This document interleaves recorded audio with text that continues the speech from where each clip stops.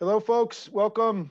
It's uh, our regular Tuesday chat series now uh, called NDN Talks. I'm Simon Rosenberg. I've got Karen Kornbluh with me here, uh, my dear old friend. And um, as people are uh, getting on, you know, logging in or whatever we call it, joining the conversation, uh, let me start by saying this is a new regular live Tuesday at 1 o'clock p.m. Eastern Time event. We've been now doing it for a couple months. Uh, been pleased with what we've been able to do. And the theory of these events are, you know, a single subject with a single person where we do a deep dive for 30 to 40 minutes um, and spend, uh, you know, and have the luxury of being able to go into a major important issue facing the country in depth uh, in a time of memes and tweets and all the things that go on, the ability to really drill down on something over in depth is really a luxury. And if you have time to be able to share with us, we're really glad you're here because we think these have been illuminating discussions about really the big issues of the day. Um, and I've been pleased so far with the, you know, both with the turnout we've been getting and also with um, the quality of the discussions we've had. So I think it's a successful format. We're going to continue to do it in the in the coming months. And today we have uh, an old collaborator, and I will say, hopefully you can't hear, there's incredible construction happening on two houses right outside of my house. And so you may, some of that may bleed into the audio today, but I'm, I'm joined today uh, with a dear old friend, Karen Kornbluh, former ambassador to the OECD, a veteran of both the Clinton and Obama administration. She's also spent some time in the private sector, which is relevant for the discussion today as an economic consultant and also at the Nielsen Corporation, headquartered in Wilton, Connecticut, my hometown. Um, and, and what's important about Karen, and, and since we've known each other all the way back in the 90s, is that Karen has been a consistent thought leader in the digital space since there was a digital space uh, back in the 1990s. And I think she and I were definitely part of the uh, internet utopian crowd um, who are now you know chastened uh, by what's happened and working diligently to try to repair uh, the broken information ecosystem that exists here and around the world. It's an urgent challenge, and that's what she's going to be spending time talking to us about today. So, Karen, welcome. And I'm really just going to turn it to you. I mean, you've been writing so much. You've been conducting this wonderful program at the, at the German Marshall Fund, looking into what you call the debilitating information disorder. Um, give us your thoughts, share with us what's the problem, what do we need to do?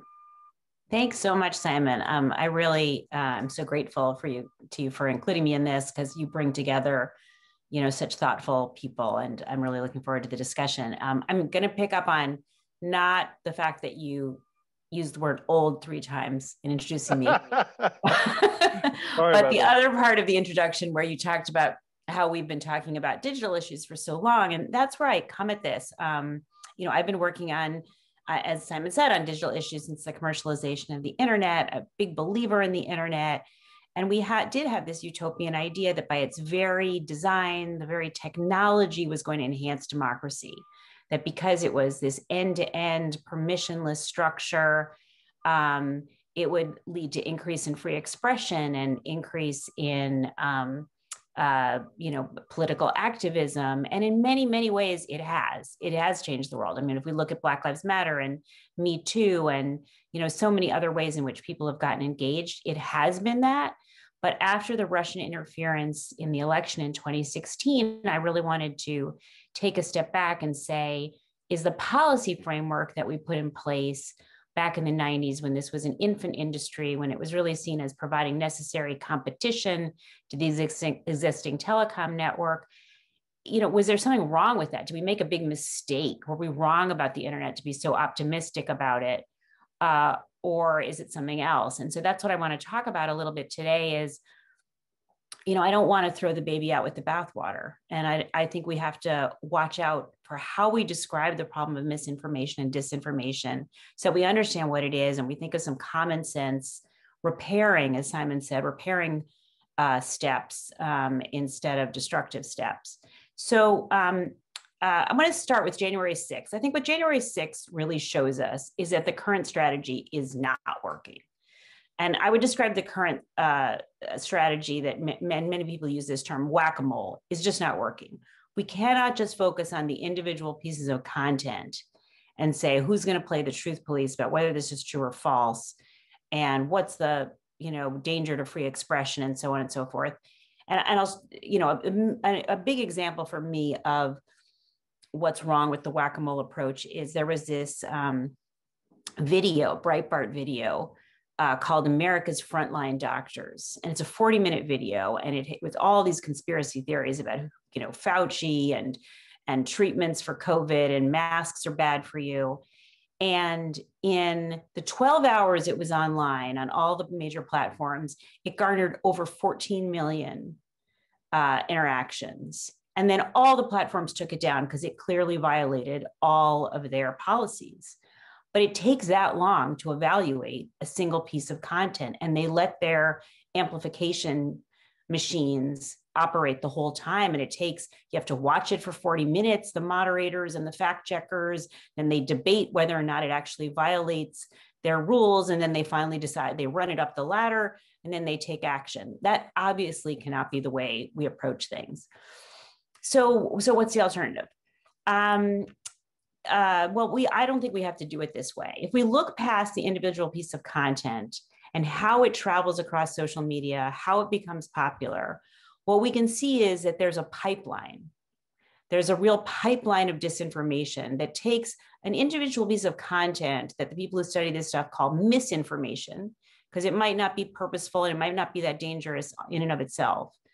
And it gets pumped through this pipeline that exists sort of on top of the platforms, in the platforms. And by the time it gets out, it has hundreds of thousands, if not millions, of views and shares. And it's it's this system creates disinformation, which is the strategic deployment of misinformation to deceive people. So we had an example of this. We were studying what happened with this whole conspiracy around the Texas uh, power outages and this conspiracy theory about the windmills. And a lot of people were saying, how did this ha- happen so fast? How did this conspiracy theory get spun up so quickly that it was the Green New Deal and windmills that caused the power outages? And so I'm just going to walk you through, you know, start to finish what we saw about how this pipeline works. So it starts on February 13th, and there's a tweet that shows helicopters de-icing wind turbines that, it's posted on Twitter. Um, the image is from Sweden in 2014. Uh, it doesn't get that many retweets. It doesn't get seen by that many people. On February 14th, there's an article in a reputable outlet called the Austin American Statesman that talks about frozen wind turbines contributing to the problem. But then the next day, Breitbart jumps on it. And there's a, an article linking to the American Statesman, but distorting what it said and saying wind turbines are responsible. 79,000 Facebook interactions. Another disinformation site, same day, Texas Scorecard, claims Texans aren't just feeling the consequences of frozen turbines, they're also subsidizing them. 73,000 interactions. The Daily Wire jumps in. They link to the American statement, Statesman, 262,000 interactions. Guess who gets involved? Tucker Carlson. He makes a claim on Fox. The FoxNews.com link to his monologue, 283,000 interactions. And then the YouTube video, 617,000. Next day, Western Journal, another one of these uh, disinformation outlets, summarizes Carlson's argument, includes links to the tweet, the original tweet of the helicopter de-icing the, wind, the wind turbines from Sweden in 2014. Hundreds of thousands of Facebook interactions. More influencers jump in. Um, uh, Dan Crenshaw, Greg Abbott appears on the Sean Hannity show. Um, YouTube video, 191,000 views, and so on and so on. And so you can see how these outlets that have enormous audiences that they build up beforehand through ads, through networks of pages. Um, then they then the in, the content gets pumped out through pages, through influencers, groups sit on the platforms, and you know, when the occasion strikes, if a disinformation campaign gets started, it can pump out the misinformation to reach millions and millions of people. And then the, the uh, algorithm that we've all heard of takes effect. It says, this is popular, this is incendiary. it pumps it out more. Individuals share it, gets shared in these groups, and so on. And the result just isn't a fair fight between truth and disinformation. Um, we identified a set of pages promoting health misinformation outlets that had 37 million interactions, more than the WHO and the CDC combined. Uh, it was taken down, but it wasn't taken down because it had disinformation. It was taken down because it was coordinating in an inauthentic way, and that breaks Facebook rules. So that t- brings me to the last point, which is why don't the platforms go after this pipeline when they're repeat offenders, they're super spreaders? And they are starting to, and that's a really good news. Um, but it's been it's been tough, and it's been tough on them for two reasons. One is, look, they have a fiduciary responsibility to their shareholders, and this keeps eyeballs on the platform. So there's a financial disincentive, and then there's a political there's political pressure because every time they try to make a real effort on this, they get accused of bias. And in fact, there are not only members of Congress that are accusing them of bias, but in states, uh, they're passing laws or they're trying to pass laws that would punish the platforms for doing any platform moderation. So we have three steps, and I'll just go over them real quick. And then if anybody's interested, we can answer them in the Q&A.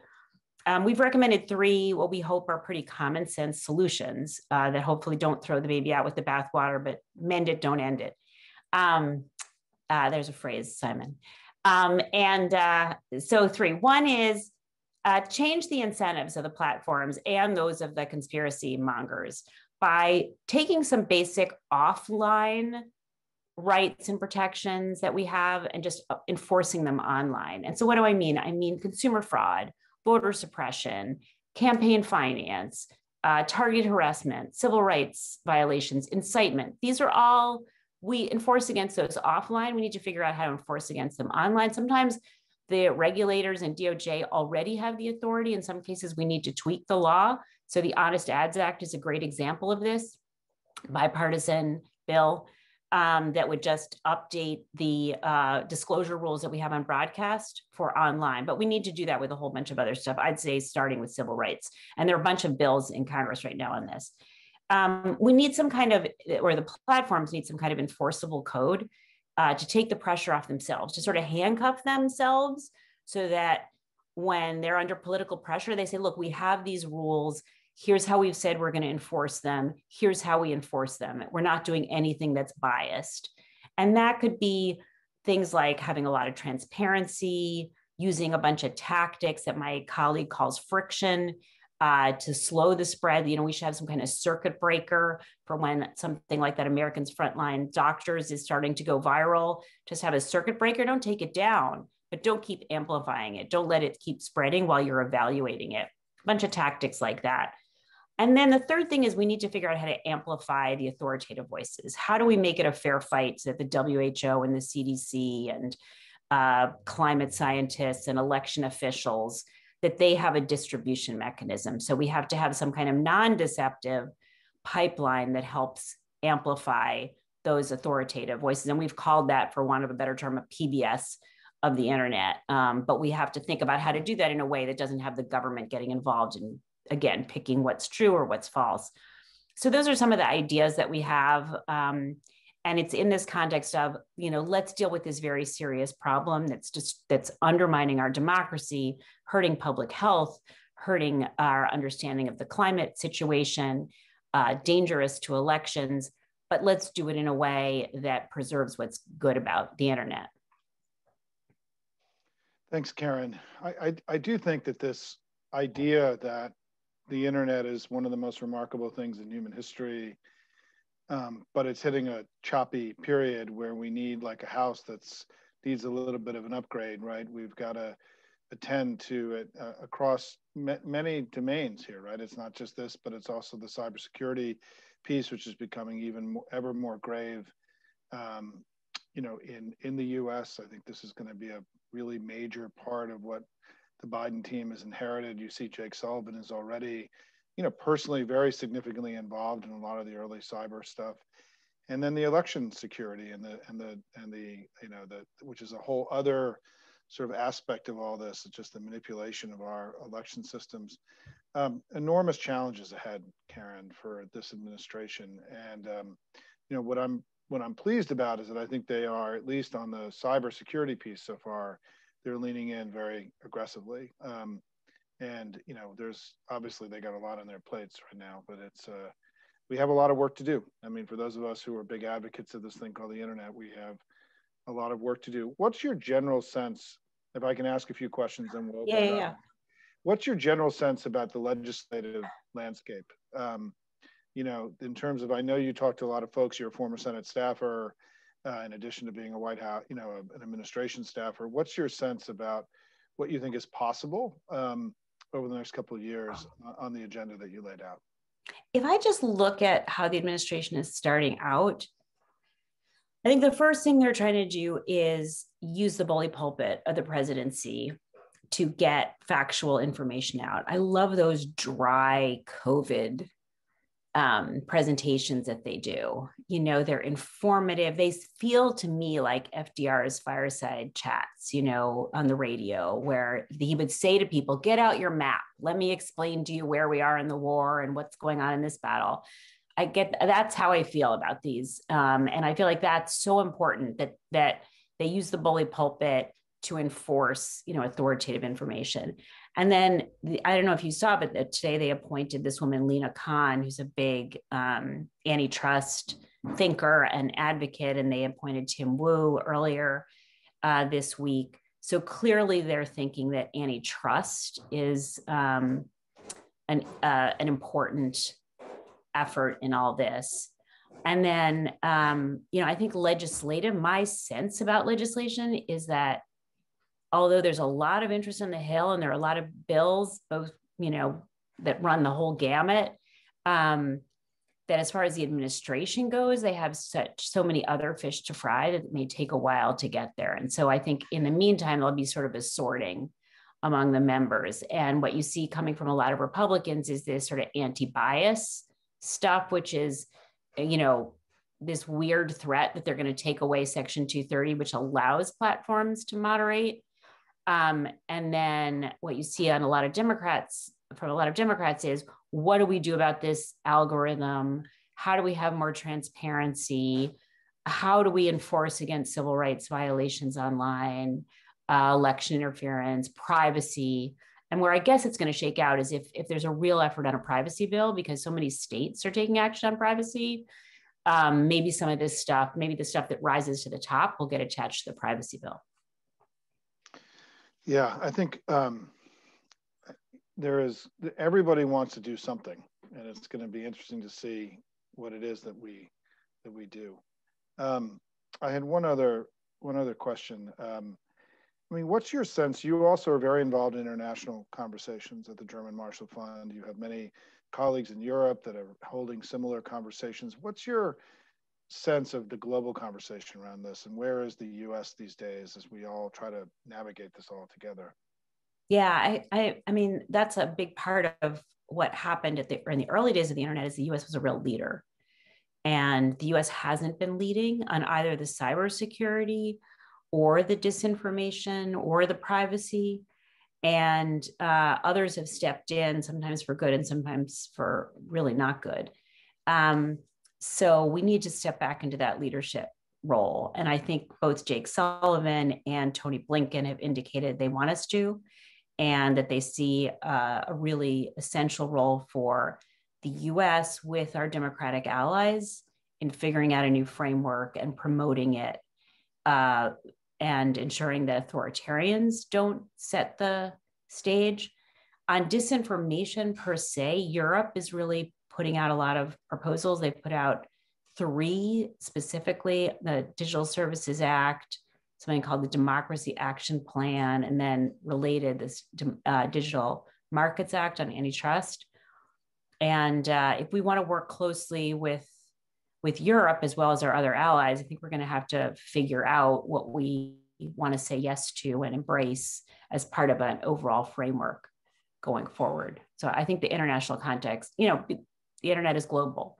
The international context is really important. And China's, you know, not up to great stuff. So we really have to, we, we have to step up. Karen, I've had this idea for many years that you and I have discussed about the idea of us needing in the US a surgeon general, you know, for the internet, you know, somebody who could be a trusted voice to talk to the American people about cyber hygiene and keeping you safe and how to deal with the idea that there are people who are trying to manipulate you and be somebody you a trusted figure who could go on television and say let me explain what this SolarWinds thing is and isn't right? I mean what's your sense of this? Because I, I do think this concept and, and frankly jack dorsey at twitter and the twitter team have been talking about this a lot a lot is looking at a lot of the disinformation misinformation challenges as as something you know like a public health yeah. crisis right? That there's an element of we need to keep ourselves safe right? And and so what's your sense about that as a a framework and how and when you talk about this is that an effective way to i love that. I hadn't heard you say that. I love that idea. Um you well, know, we can work on it like, together. We can work yeah on no i love it. Yeah, i think there's like two parts to this. So i've heard this analogy both to and i've used it both to public health and also to like pollution. And i think what's instructive about those analogies is that there's a personal aspect, you know, in public health and in and in you know the pollution environment or the you know climate. You know, you want to recycle, you want to do hygiene, you want to take care of yourself. But then there's a public role, you know, that you can't do it yourself. You know, you can't recycle your way to get around global warming. Um, you can't, you know, if you wear a mask, that's not enough if nobody else does so there is there is both this individual responsibility role and then we've neglected i think is the public leadership and hey it can't all be choices. There have to be guardrails. And um, you know especially in in what you were talking about like doing your privacy protections or your cyber hygiene it's just too much. Like there are too many choices there are too many options the transaction cost is too great. I mean we're experts in my house and we have just you know, it's a hell of a time to figure out all your privacy settings and keep up with all the changes. So I think the idea of, I mean, I think that's what we're gonna we're gonna have to figure out is what is the role of the government because we don't because the, in this area free expression is so important and we don't want to take that we don't want to have the government involved in the truth police side of things we don't want them doing that right. nor do we want putting pressure on the companies to do that but there are some common sense things. And so where I'm torn about your idea about the Surgeon General is I I love it, but I also want to make sure that we're mainstreaming. Like I think we both need to talk to people about the internet, but we also need to mainstream digital fluency in all aspects of government. So like HHS as it's dealing with COVID and other public health issues has to be thinking about disinformation and has to be thinking about getting its message out. And the FTC has to understand the internet and you know the transportation administration has to understand it. And so i don't want to i don't want it to be an either or. I think we need to speak to the internet we also need to mainstream it. You know last point and then we'll open it up for questions is that i do think the that the fact that there is now clear mis- disinformation about the vaccines is a, a enormous opportunity to bring a broader community along in this conversation in the way that you are. Because now if you're a private corporation in the united states it's just inescapable that at some point whether it's to manipulate your stock price whether it's to play games that you are now living in a world where disinformation is ripe. It's part of the uh, landscape that we all live in now. And here you have companies like uh, you know johnson and johnson and Moderna and Pfizer, who are now confronting attacks on their brands by nation states, right? That could have enormous impact, not just on the vaccine, but on their global businesses, right? Yeah. That they are going to have to manage. And so, do you think this is going to be an opportunity for us to expand this conversation to a much broader audience because of what we're going through with the vaccines now? It has to be. And that's one area I think uh, on cybersecurity, we've had such a hard time you know what's what are we just leaving companies on their own to deal with? Um, and where does the government come in? How what kind of information sharing uh, you know in what kind of privacy protected way can there be? And now it's spread into the disinformation space. But absolutely that we can't just leave these companies on their own. And and the in the vaccine space it's especially clear because there's this public health component to it. Um, but it's true, you know, in an even broader sense than that, you know, um, the critical industry uh, infrastructure, but just any big. I mean, when you think about the Sony hack and how damaging that was, or um, you know, so many of the others, they they exact a huge toll. So, okay, so let's uh, open it up, everybody. Thanks, Karen. Um, we've got, you know, 10, 15 minutes. If you want, there's two ways to ask a question. One is you can go into the Q&A box at the bottom, type away, I'll read it out. Or if you want to raise your hand, I can call on you. And, um, and I do, we do have a first question, Karen, from an old friend, uh, Chris Dorval. Um, can you talk a little bit more about states that are leading the way or things they can realistically do on what is ultimately a national issue? Yeah, um, yeah, the states are actually really active. So California, of course, has passed this privacy law that sort of they based it on GDPR, but did things really differently, and um, it's uh, it's really setting you know standards in some ways for the rest of the country. Uh, Virginia um, is following suit. So I, I, think I think there's a lot that's going on that's really interesting in terms of privacy. Um, some of the states are looking at at the political ads, uh, some First Amendment issues. So it's going back and forth. Um, facial recognition uh, is being considered in a lot of states and localities, and um, and as I said, in some of the red states, there's this big move to punish platforms if they do any moderating at all. So, not such a good thing. Um, so, I mean, I think the most interesting things have to do with privacy, just because that's sort of the furthest along, and thinking about how a lot of this stuff works together. Like, what do you include in the privacy uh, bucket? Um, so, I, I think that's the most interesting. But I think the stuff that hasn't really been explored enough is you know what is consumer fraud? What is consumer protect what is con- protected under consumer protection laws? What is you know a violation of a civil rights law when it happens online? What is voter suppression? So i think a lot of that stuff is going to be worked out um, going forward and some of that can be done at the state and local levels. Hi chris garrett let me uh, let me call on you here garrett hey welcome garrett um, hold on i think you're unmuted, Garrett. Go ahead. Um, hi. Um, so um, I, I, was the founder of, of, what's now called Ask.com, was then called Ask Jeeves, um, and was it, it, reviewed the could have invested in the social media generation of companies and chose not to around these concerns. Oh, wow. And I want to say that um, I agree with you on the privacy um, uh, you know, the privacy is, uh, to many extent, the root of a lot of this. And there, I think we have a lot of agreement. But, um, and you know, my mother always said, don't listen to anything before the but. Um, the, but, you know, if you, if you look back in history, the, the, um, a much more significant thing than the internet was the advent of radio. And with radio came information viruses that were much worse than anything we have seen. I think Hitler was the virus of radio. Um, and, um, you know, now we are dealing with the viruses of social media. And while I do believe Facebook is a bad actor, what I think is, um, you know, the question is how do we develop antibodies to the proclivities of social media without violating First Amendment rights? And it strikes me that it's very hard to put in place a regulatory regime that goes beyond where we are with respect to physical media or radio or television um, that doesn't violate First Amendment uh, uh, rights. And your own example, frankly, is, is a damn good one of it, is that, you know, um, it's perfectly okay for people in Texas to say that, you know, that they think that investments in, um, in renewable energy relate to their energy problems. I think that they're wrong. But um, you know, it would take a science court to determine that. And I don't think a science court right now, even now, could make that call.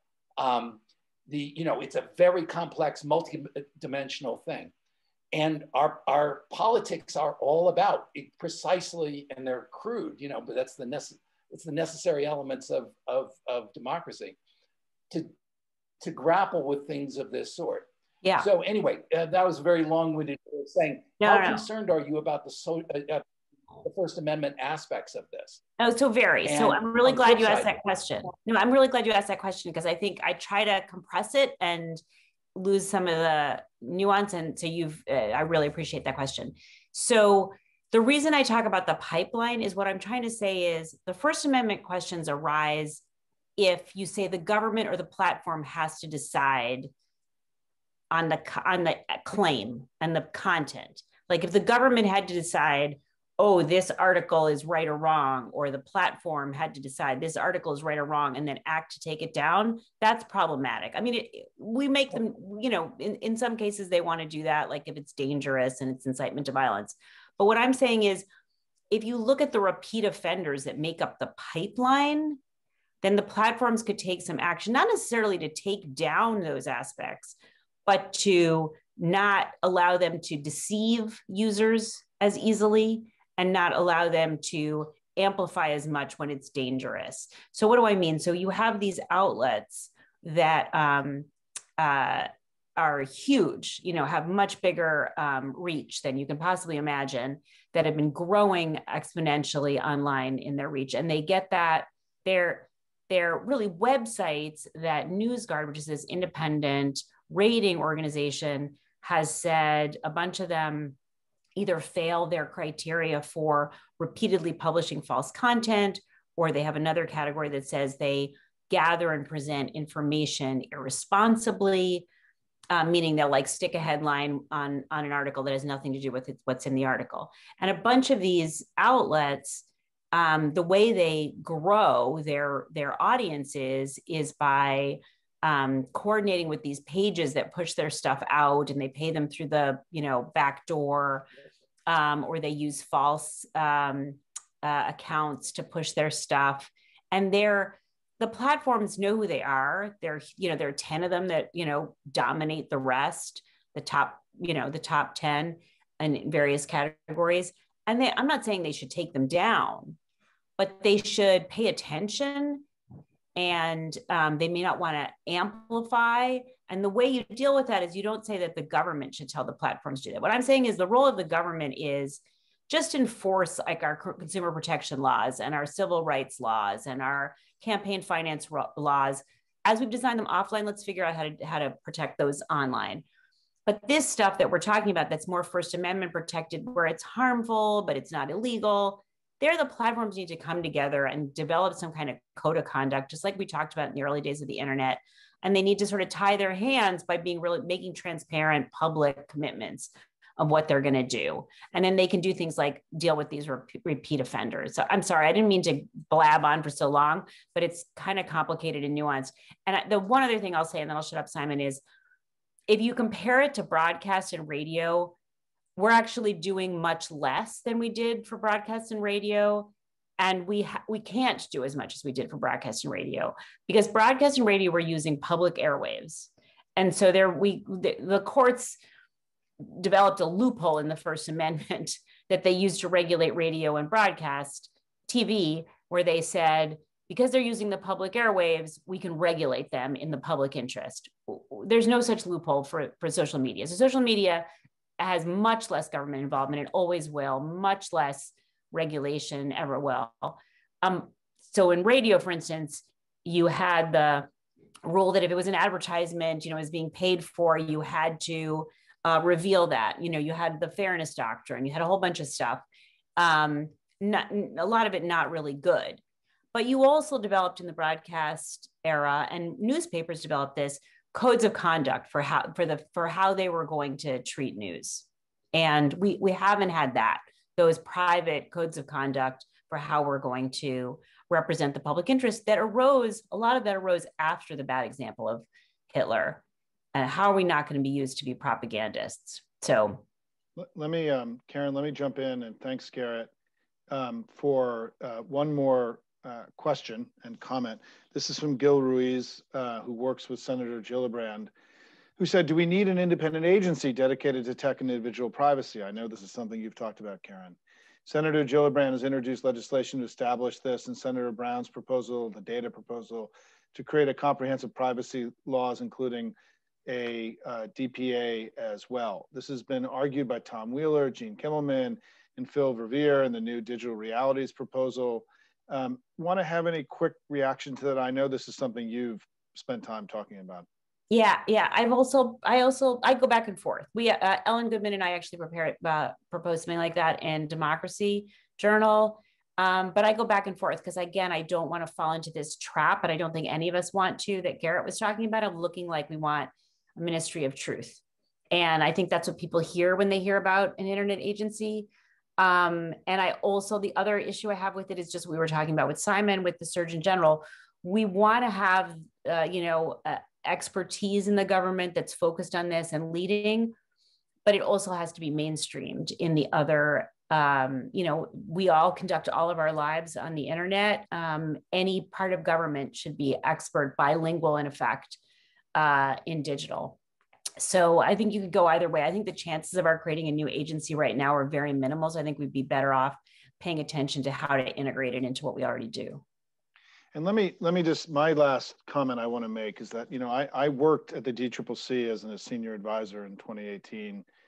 I was in the war room back in the stone age of modern political communications, and one of the things that we did in 2018 as part of the countering disinformation operation that I helped run was that it we became aware of the need for us to be louder, and that I think that every brand and every politician and every institution is going to have to take also a degree of responsibility for recognizing that there are forces out there who are manipulating their the world that they inhabit and that they need to um, be louder every day and just culturally louder right we have to be louder to help make it harder for these forces to manipulate us right and we have to develop tools as karen was saying that every institution has to sort of also do some policing of their own space. I mean, one of the things that we did in 2018 when we were there is that we found malicious actors and we reported it to the platforms and the platforms did a lot of takedowns. And you know we they wanted they were incentivized to do takedowns with us because we could regulate them. But we also took responsibility for monitoring our space and trying to clean it up right? In addition to not expecting government to do it too. And so I do think that there is, this is why I like the concept of a surgeon general in some ways, or this idea that there's things government can do, the companies can do, but there's a lot we can do too to make all this better and to not feel so powerless uh, by, and, and so, because I think so much of what happens when I talk to people is they, feel overwhelmed. They feel like this is so much bigger than they are. There's nothing they can do. And that's just not true, right? There's a lot we can all do, as you were saying with privacy, for example. But we need help and we need people setting examples. We need to learn together how to, you know, we, we learn how not to go to walk down a dark street in a city. I mean, there are things that we can learn how to do together to make ourselves and keep ourselves safe on the internet. And I think this concept of safety yes. and um, is really really important right? And and so karen let me tee that up to you to close and and to give us final thoughts. And you've been terrific today. Thank you for for being part of this. Thank you. Thank you. Um yeah i don't want anybody to walk away thinking uh thinking that we in any way should protect the protect folks on the internet by um, harming free expression. Um, I think that's exactly what the challenge is. How do we do that in a way that promotes free expression.